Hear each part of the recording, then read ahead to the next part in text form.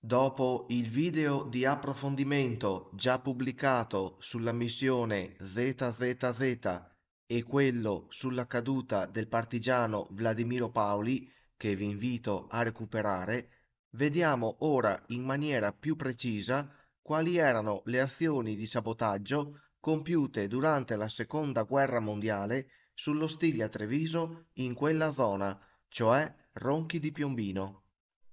A pagina 110 del diario De Stefani troviamo un'importante testimonianza dei sabotaggi sullo Stiglia Treviso.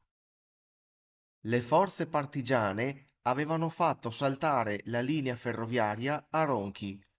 Questa linea era molto importante per i tedeschi, era la linea più corta per la destinazione dei treni merci per la Germania di tutto quello che rubavano nel nostro povero territorio. La linea era stata interrotta in tre punti in una sola notte. La partecipazione dei partigiani della brigata Ercole è confermata da Francesco Basso in un'intervista del 17 gennaio 1998, nella quale parla nuovamente dell'azione compiuta sul cavalcavia ferroviario tra lo Stiglia e la Valsugana.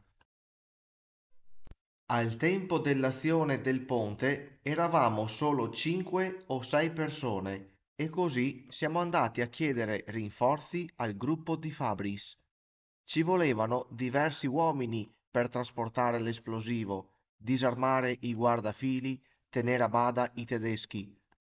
Quella volta lì l'ordine era arrivato direttamente dall'Inghilterra tramite la missione radio.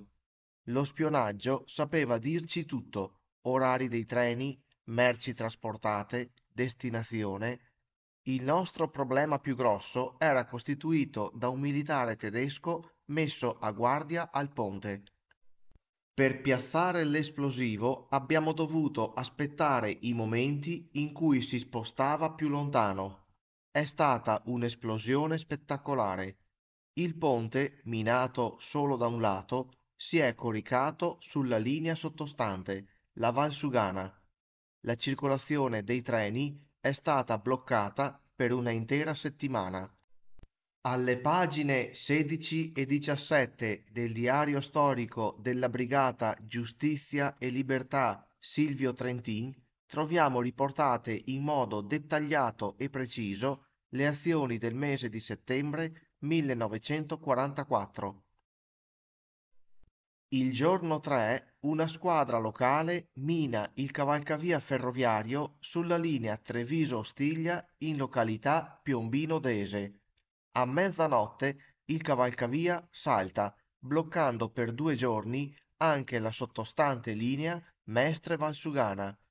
Il traffico ferroviario sulla Treviso-Ostiglia è interrotto per cinque giorni.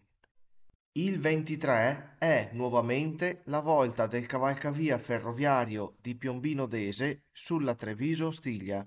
Raddoppiate le cariche, il ponte salta nuovamente, bloccando per più di una settimana le due linee Treviso-Ostiglia e la sottostante Mestre-Valsugana. A pagina 69, riservato al Duce della Guardia Nazionale Repubblicana Padovana, si parla di un secondo attentato con citazione anche del primo. Tre Baseleghe, attività dei banditi e ribelli. Il 26 settembre ultimo scorso, fra le stazioni ferroviarie di Tre Baseleghe e Ronchi di Piombino, alcuni banditi, mediante cariche esplosive, facevano crollare il ponte in ferro, precedentemente danneggiato in seguito ad un atto di sabotaggio. Le macerie interrompevano la linea ferroviaria Mestre-Castelfranco.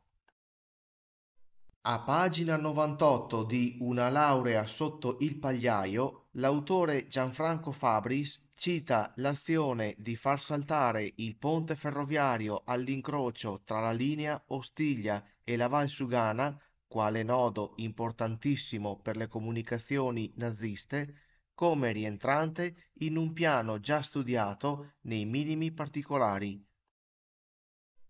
In molti giustamente mi avete chiesto questo video di approfondimento. Dopo aver visto i video sulla missione ZZZ e sulla caduta di Vladimiro Paoli, la domanda era ci sono state altre azioni partigiane?